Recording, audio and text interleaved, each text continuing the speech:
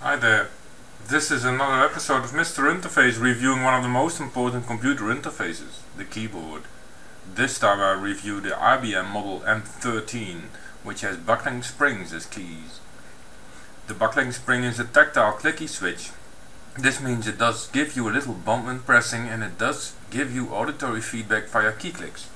Let me show you the buckling spring key switch. Here you can see the buck the spring. It actually buckles when pressed.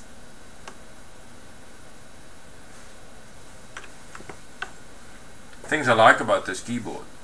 The key layout and the sturdy build quality. This keyboard also has a handy red tickle mouse, which I like. Things I don't like about this keyboard. The amount of decibels the key generated just too much for my liking.